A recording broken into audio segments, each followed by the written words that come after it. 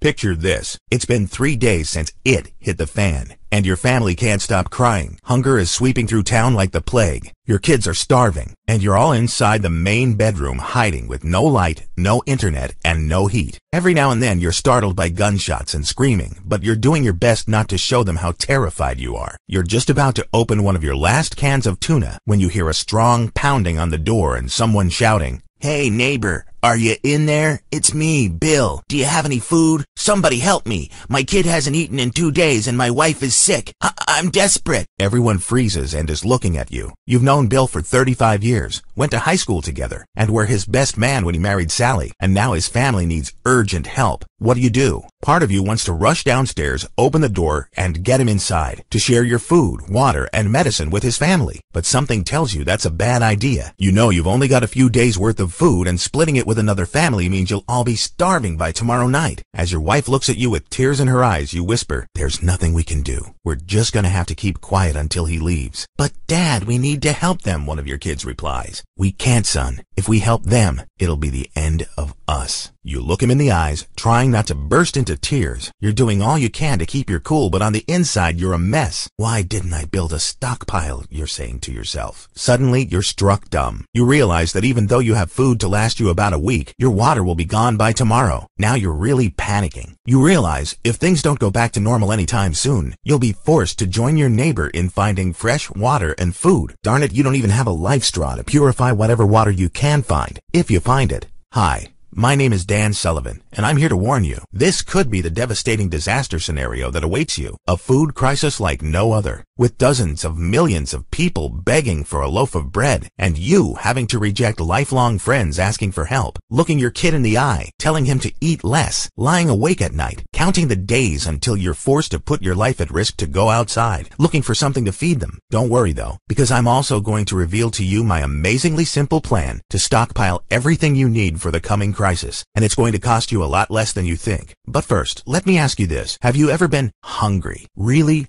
hungry. It starts off with the feeling of an empty stomach, accompanied by growling and churning. As the hours pass, you start to feel a tightness inside and can't stop thinking about food. All of a sudden, the symptoms go away. You don't feel hungry anymore, but you know that's not a good sign. Your body simply realizes it won't get any food and starts to burn fat instead. You feel lightheaded, exhausted, and get stomach cramps. Pretty soon, your body starts cannibalizing its own muscle to feed the brain, and your levels of magnesium and phosphorus become dangerously low. You feel weaker and weaker. Your heart starts beating slower, your muscles atrophy, and pretty soon, you're unable to fully control your arms and legs. Horrible, right? Here's the thing. No matter which disaster strikes, whether it's an EMP, martial law, or an economic collapse, you need food in order to survive, and plenty of it. Looking back in history at what happened after some of the biggest events humanity had to face, they all lasted years before things went back to some sort of normal. Let's not forget that 7 million Americans died of hunger in the 1930s during the Great Depression. So let's see what your options are real quick. You could start a garden, but you need the knowledge, seeds, and way to protect it from hungry thugs and neighbors. Besides, you need food right there and then. You can't wait three months until the plants decide to grow. Hunting is also not an option because with thousands of people chasing wildlife into extinction, the odds of you bringing back something aren't particularly high. Most people are poor shots when it comes to moving targets anyway. So where does that leave you and your family? Eating dogs and cats?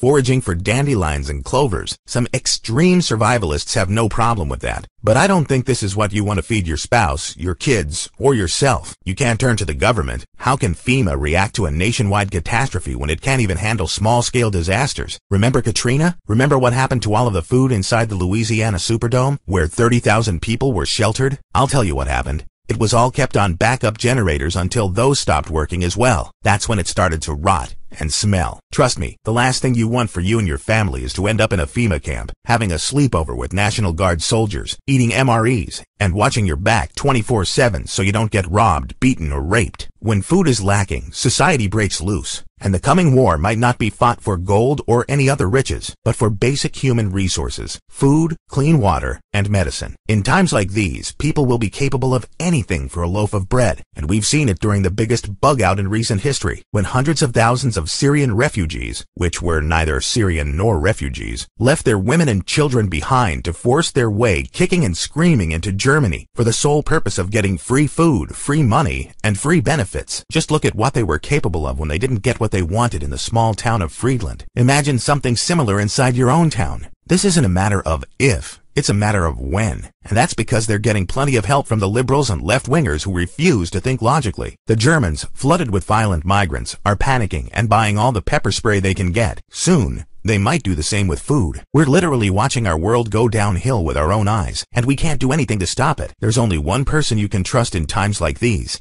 and that's yourself. You are responsible for your own family. You are the one who's supposed to keep them safe and well fed. And anyone telling you any different is BSing you. This is what the rest of the presentation is all about. To give you the solution to the food crisis you might have to face to act now and make sure stories like the one in the beginning of this video will never come true. To give you the confidence to survive anything, no matter how long it lasts. To see your kids safe and well fed. The gratitude in their eyes will make your heart melt. While other parents won't have anything to eat, your family will not only survive, but thrive, and even be able to give some to your lifelong neighbors and friends. So what's the recipe for getting lucky in the coming catastrophe? You need a stockpile. Food, clean water, medicine, clothes, self-defense gear, tools to fix your home or work your garden, comfort foods to keep your spirits up, and extra supplies to barter with. You can't build one overnight though because you need a plan. And if you're not careful, you'll end up throwing money away on low-quality supplies. Let me show you how to do this by first revealing the worst mistakes you can make when stockpiling food for the long term. But first, let me tell you a little bit about me and why I chose to go against conventional wisdom. Like I said before, my name is Dan F. Sullivan, and I'm a prepper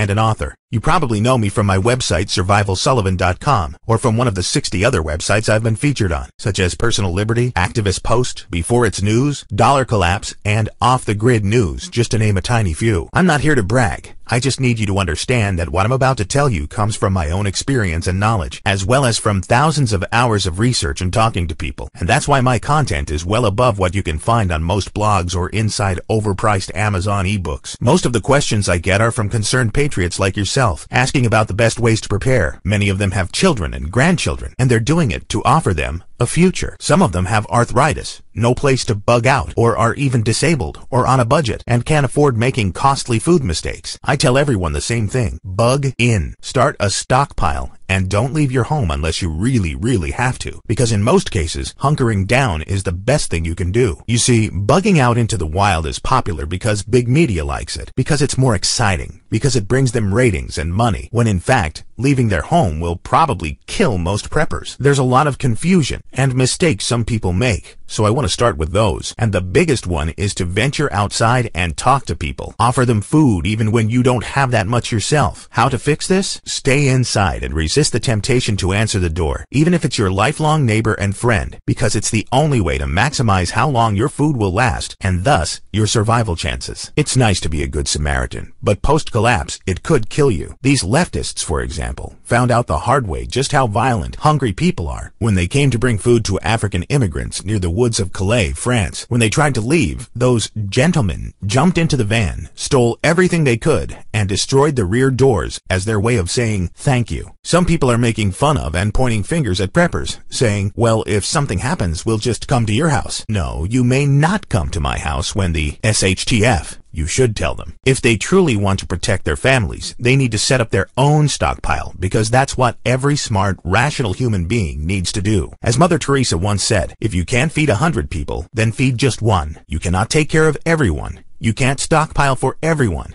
but you can make sure your family is well taken care of post-collapse. And that's something to be really proud of. As for everyone else, they either listen to you now and prepare, or tell them to get lost. The second biggest mistake is buying overpriced survival food, falling for false advertising misleading packaging, and ending up with food that's super high on salt and sometimes even GMO. I wouldn't even recommend these foods to liberals. They're that bad. Even they don't deserve increased blood pressure, diabetes, or their kidneys shut down. The other thing that makes me sick to my stomach is the number of calories in some of these foods, which is extremely low. 800 calories per person per day? Really? That's a scam right there. There's no way you can meet your daily needs with this kind of garbage that makes even junk food look healthy. Let me assure you of one thing. The marketers behind some of these products have nothing to do with prepping. They don't have bug out bags and their only goal is to make money off of honest people like yourself. It doesn't take more than a Google search to reveal the scam reports and expose them. You just cannot afford getting sick post-collapse, where doctors will be hard to find, and even if you're lucky enough to get to them, they might not have the meds and medical gear to do it. If you think you can build a one-year stockpile, not just for you, but for your entire family, with overpriced pre-packaged food, let me do the math for you.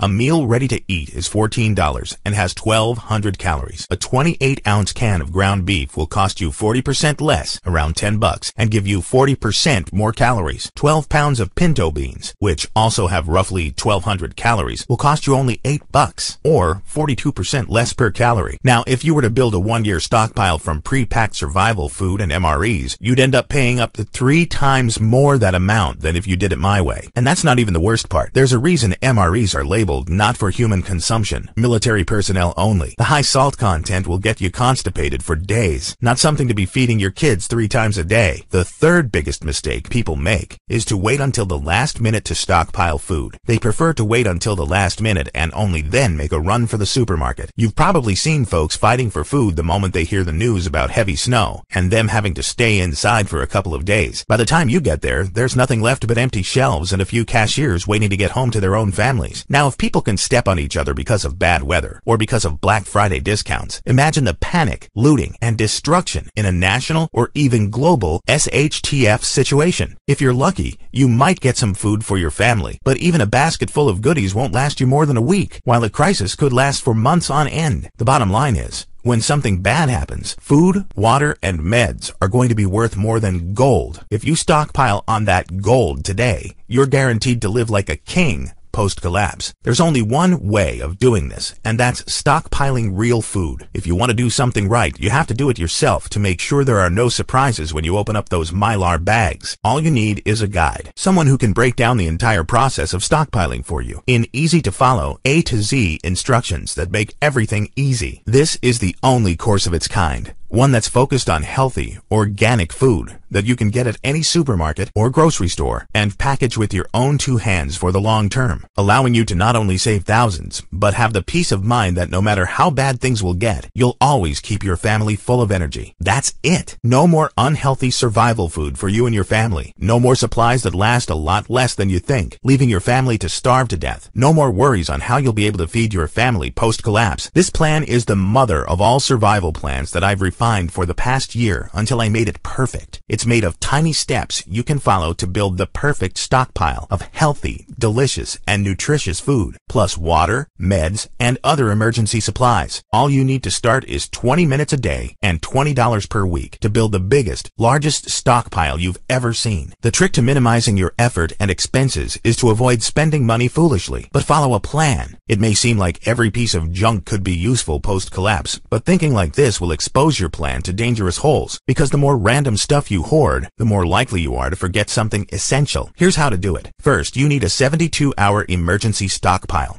If you don't have one, I urge you to make it a top priority. You never know when you'll have to stay inside your home because of a grid down situation, just like the people of Brussels, Belgium had to do when authorities declared a state of emergency and brought in tanks to patrol the streets after the terror attacks of November 2015 in Paris. As The Guardian reports, shopping malls, supermarkets, and even restaurants and cafes were all closed for days. Can you imagine being ordered to stay inside until further notice? Forced to survive only on what you have in your fridge? These things are happening today, and we need to prepare ourselves. Not to worry though, because the stockpiling plan I have for you is about to get better. The second layer will help you build a three-week supply in a matter of weeks. Then we'll move on to a three-month stockpile before you know it. And, last but not least, I'll show you how to build a one-year stockpile in record time with minimum cash and using every available cubic inch of space. Having a supply to keep an entire family well fed for at least a year isn't dead easy, but it isn't all that hard either. In a way, stockpiling is like a martial art. You make the same easy moves over and over again until they become second nature. The best part is, many of the foods I recommend are something you already eat and enjoy today. This is important because unlike pre-packed survival foods and MREs, you don't have to change your lifestyle or eating habits.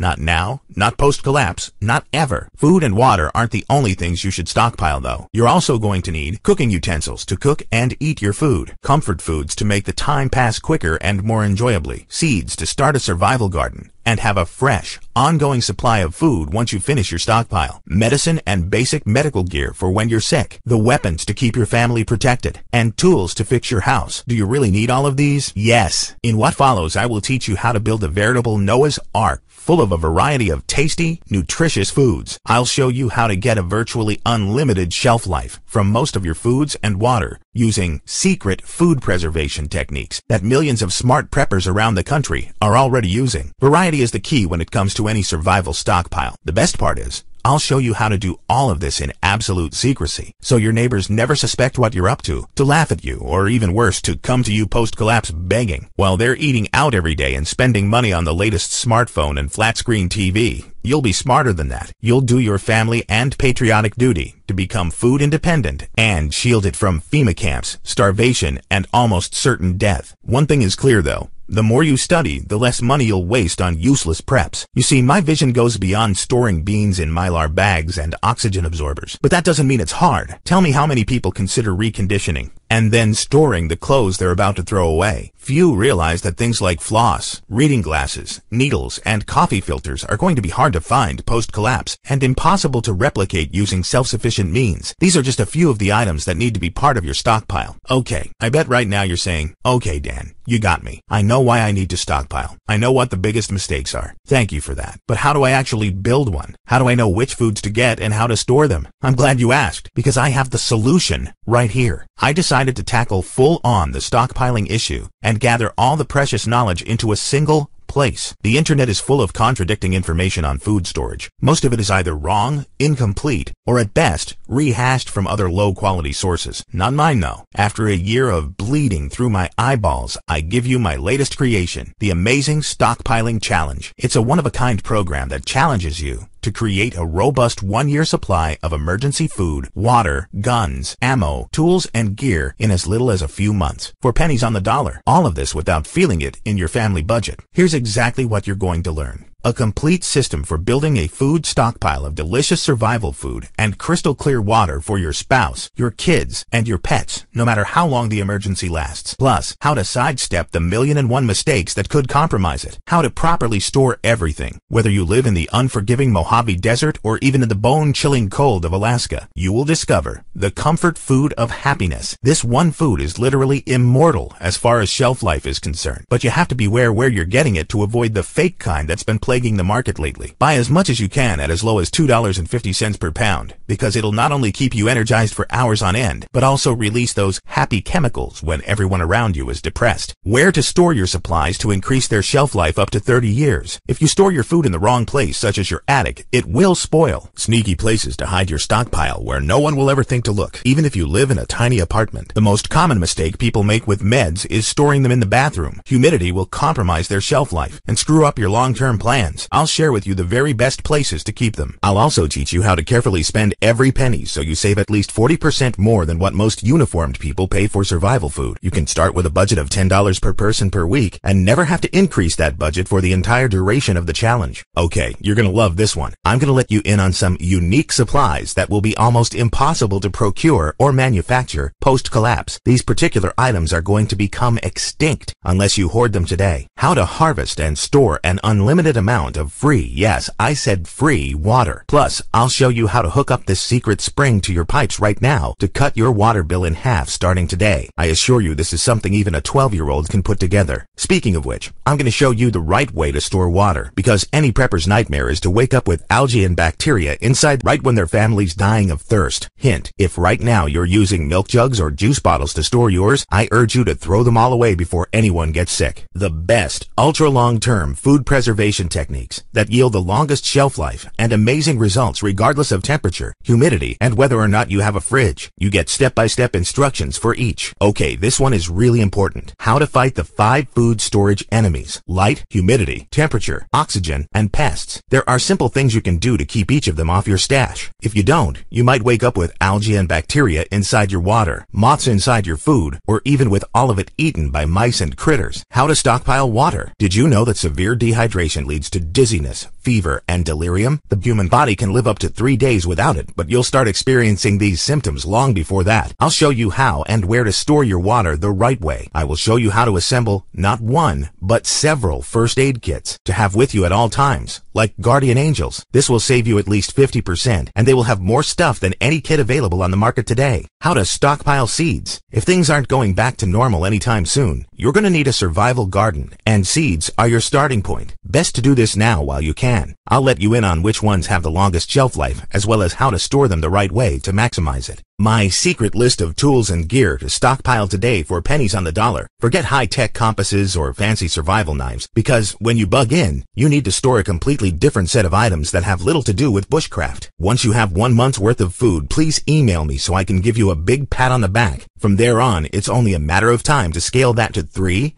six, or even 12 months to be truly independent. Last but not least, I'm going to show you how to correctly rotate and maintain your food stockpile so you don't wake up with a spoiled pantry post-collapse. I could go on and on for at least another 10 minutes talking about all the things I'll be teaching you in my amazing challenge course, but you get the idea. Suffice to say that when we're done, you'll be the proud owner of one of the biggest and most nutritious stockpiles any prepper has ever had in your entire town or city. I guarantee you can do it without breaking the bank or changing your lifestyle to revolve around prepping and survival. You can still enjoy your free time, your family, and live a normal life. Now, since I wanted to make you an offer you can't refuse, I'm also including these amazing free bonuses. Bonus number one is called Barter for Your Life and helps you get just about anything your little heart desires post-collapse by learning to use your stockpile as currency. You need to be a good negotiator regardless of what happens to the dollar. Your big stockpile is going to put you in an undeniable position of power and you'll end up getting the sweetest deals every time because because of all the extra stuff you'll be able to spare. Bonus number two, canning authority. It's no secret canning is one of the easiest ways to store healthy, organic food for the long term. This is something even non-preppers do all the time. There's only one problem with it though. If you don't do it right, with some foods you can catch a horrible disease called botulism that will be almost impossible to treat in a post-collapse world without access to doctors, a hospital, and medical gear. Don't worry though. If you follow the canning recipes to the letter, nothing like this should ever happen. The name of bonus number three says it all all. 26 delicious mouth-watering survival food recipes. They are easy to make, quick, and delicious. They're so good you're going to want to incorporate them into your family's diet today. Bonus number four is also the most practical. It's a list of lists of all the tools and gear you can buy. From survival knives and cooking utensils to mylar bags and buckets, you'll get nothing but the best of the best, so you don't have to spend dozens of hours researching and browsing the internet and asking of forums or friends what to buy. Last but not least, there's bonus number five, Paleo Kickoff, which I I also like to call the survival diet. It is made exclusively of foods that our ancestors ate for hundreds of thousands of years, foods that your body is used to processing, but the really amazing part is that many of them are the exact same ones you need to stockpile. In short, you'll get to lose weight and eat survival food at the same time. You'll look and feel healthy, keep your weight under control, lower your blood pressure, the risk of heart disease and diabetes, increase insulin sensitivity, and most of all, you'll get used to eating survival food. Just give this diet a try, and I promise you'll be amazed at how well and energized you'll feel. Now, if we look back at everything I'm offering you today, it's a pretty sweet deal, and you're probably wondering how much it costs. Let me put it this way. If you were to buy ready-made food kits, you would have to spend at least $2,000 per year per family member to get about four months worth of food. This means you'd have to spend around 15 grand to keep a family of three fed for a year. And that's just food. If we add water, tools, gear, and medicine to the equation, then that number will almost double. Pricing the amazing stockpile challenge was tricky. On one hand, I want everyone to start a stockpile as soon as possible because there's just no telling how much time we have left. On the other, this is a challenge and a commitment on your part, meaning once you're in,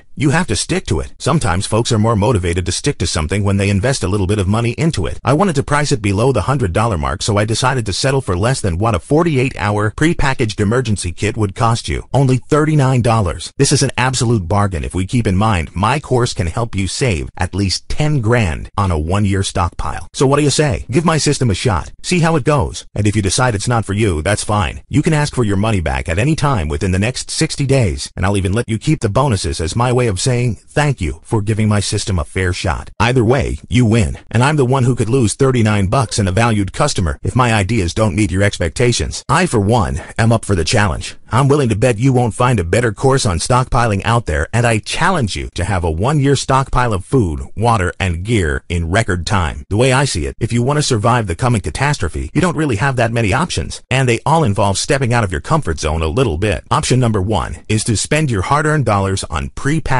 MREs or survival food buckets. I'm not saying that they're bad, but they are expensive because freeze-drying, low-heat dehydration, and other preservation techniques are pricey, and the manufacturer passes those costs onto you. Option number two is to try to build the stockpile yourself. Maybe you read some of those useless articles in the top 10 items you need to hoard in a crisis. The only problem is they forget to tell you how to do it, as well as giving you more food choices, particularly if you're looking to prepare for three months or more. They also don't give you any tips on where to find the best deals, as well as leave out crucial items that aren't food you'll absolutely need around the house or to barter with. This is why I recommend option number three. Say a cheerful yes to my challenge and to the only A to Z emergency stockpiling course on the market that ensures you're fully stocked for any disaster. Even if you decide to bail out after a month, you'll still be better prepared than 95% of Americans. 4 million preppers cannot be wrong. Just imagine the overwhelming feeling of confidence when you turn on your pantry or basement light a month from now and see shelf after shelf filled to the brim with food, water, and survival items, enough to last you and your family 6, 8, or even 10 months. Hey, if you don't want to do this, don't worry. It doesn't make a difference to me. It's going to make a difference to your family. They're the ones who are going to look you straight in the eye asking you for food when there isn't any. If you think you can leave everything to the last minute and make a run for the supermarket, you might be shocked and disappointed to see empty shelves and people fighting over the last can of tuna. What's it going to be like to have your family safe and secure inside your home and watch them eat the myriad of goodies you stashed in advance to know that you'll be able to survive and thrive until the worst is over, no matter how long it takes? Say yes to living like a king post-collapse. Say yes to putting together a long-term emergency stockpile that goes beyond food and water. If you ask me, this course is worth at least 10 times what you paid today. As I already showed you, it will save you thousands. $39 is more than a fair price, especially since it's backed by my 60-day money-back guarantee. If you decide you want your money back, just shoot me an email and I'll promptly refund you every penny. So click the button below, enter your credit card information, and let's start building your survival stockpile today. Okay, if you're still here, you may have a few questions about the product and I'll be happy to answer them. Question, is the 60-day guarantee real? Yes, absolutely. I'm using ClickBank, the biggest online retailer of digital goods, having an A-plus rating with the Better Business Bureau, and my site is ClickBank secured and trusted. Their automated process makes it really easy for you to quickly get your money back if you are unhappy for whatever reason by sending either me or ClickBank an email for a full refund. Remember, you have two whole months to start building your stockpile. Question, how quickly can I get my blueprints? Since this is a digital product, you get instant access, meaning as soon as the payment is confirmed, you're literally two to three minutes away from starting to read. Question, can I get the product in physical format? Not at the moment, no. By making this available in digital format, I can keep the costs low while you get fast, instant access. Question, is my credit card safe? Yes. The transaction is processed by the online retailer, ClickBank, and that's what will show up on your bank statement. ClickBank processes hundreds of thousands of ebook transactions every single month, and they've been doing this for a very long time and handle money with care. Question. I live in a tiny apartment. Can I still do this challenge? Definitely. Even if you can't have a huge stockpile inside your apartment, you'll still be able to stash a lot more than you think. You'll be surprised at all the tiny little places you can hide your preps. Question. Can I access the product from my phone or tablet? Sure. After your purchase, you'll be taken to the members area, but you'll also get a direct link via email. This way, you'll be able to access the product anytime you want it by simply logging into your email from your phone, iPad, or your laptop and clicking the link to get to the same members area. Question. Dan, can I make a printed copy of this course? How about several? By all means, feel free to make as many as you want. Question. I've read quite a few survival books and ebooks. Can you give me some more info on your course? Sure thing. I could fill pages upon pages of stuff you're going to find inside the amazing stockpiling challenge, but here are just a few more. How to cleverly split your preps, not just inside your home, but other places such as your survival bags, your car, your bug out location, your tool shed, and even your backyard. How to get the right containers, sometimes for free, to store your food. Careful here, they need to be food grade. How to tell if your food has gone bad and what to do about it to avoid poisoning. Which essential herbs to store to allow you to treat your family when there is no medicine. How to inexpensively dehydrate foods, plus drying times for each. Which items I believe will have the most value post-collapse that you can get today for pennies on the dollar. Tips on how to safely store fuel, plus a full list of little-known items no one told you you'd need post-collapse, and much, much more. Question. What disaster is most likely to hit us? That's a fantastic question. Well, with the Swiss decoupling themselves from the euro, with tensions between Russia and the US, the EU, and Turkey, I believe a financial disaster is most likely to hit, which will quickly lead to a food crisis. It's not only going to affect just America, but most of the world. Just like some financial analysts were called crazy for predicting the 2007 crisis before it happened, there are people right now crying their lungs out about the food crisis. Question. What makes the amazing stockpiling challenge different? There's only one thing that makes it different. The fact that I worked my off to get you the highest quality information possible. I honestly don't think there's a better course on stockpiling out there. This isn't just a list of food preservation techniques. It's a war plan for a bulletproof stockpile that will make even the most hardcore preppers jealous. Question. Is the product full of fluff? Absolutely not. I've had my share of survival courses filled with irrelevant stories, personal opinions, and political rants. There will be none of that in the amazing stockpiling challenge. Question. What if I have questions later on? I'll be right there with you. Simply write me an email at contact at survivalsullivan.com and I'll personally reply within 48 hours, tops. Well, that's about it. I've given you all my arguments and now I rest my case. It's up to you to make the right decision. I'm just going to say this one last time. Get the course. It's the only way to ensure that when we're all going to be in hot water, you and your family will be safe. Click the button below to get started with the amazing stockpiling challenge, and I'll see you on the other side with a very important announcement. I'm Dan